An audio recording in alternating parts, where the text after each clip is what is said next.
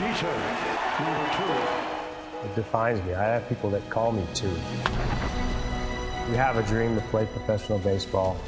You have a dream to play shortstop. The dream to play shortstop for the Yankees. To have your number retired is never a part of that dream.